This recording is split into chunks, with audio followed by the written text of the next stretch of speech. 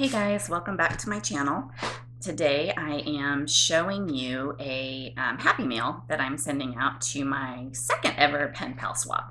Um, this is going to Tanya Leigh, or Lay, I'm not sure how she pronounces it, in uh, New Zealand. So I'm super excited. This is, um, in all honesty, this is my second version because this is supposed to be flat mail. I'm not even sure it's flat enough, but the one I had originally done was so not flat, like it was big. So I have a hard time with flat. So uh, I redid it and kind of started again and went from there. So we'll see how it goes. So this is my mail that I'm gonna send to Tanya. Um, this is using almost all Amy Tangerine sketchbook papers.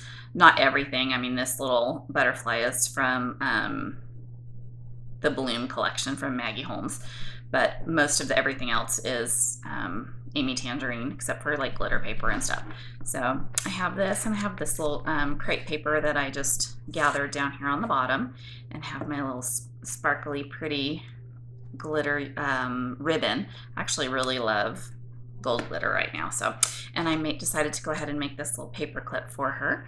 Um, I was inspired by, I think it was I Am Absolutely Alice. Um, I think.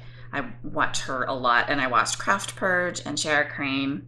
Um, those are my three big ones that I watch. So this, there's a lot of inspiration from those ladies in this. So we've got that, and then um, I made her a little bag. This is just some tags.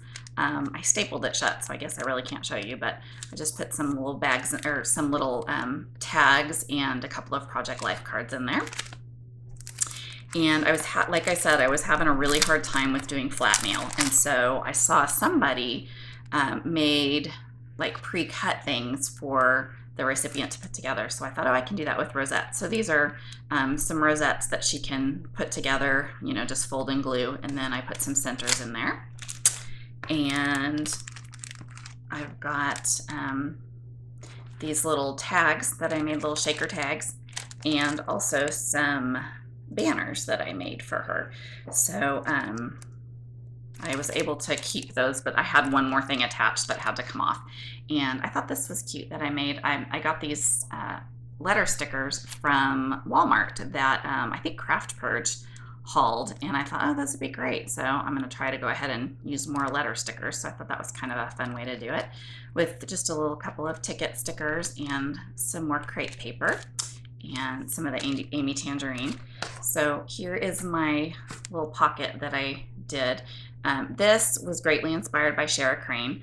Um, like I said, I, I tried to do my own thing and it, it did not go super well. It did not go super flat. So we'll go with that.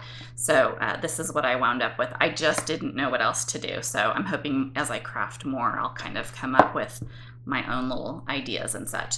And then on the back, I have a little note for her. Um, this is also not from Amy Tangerine. This is from Bloom, I think. And then I put my little sticker on there.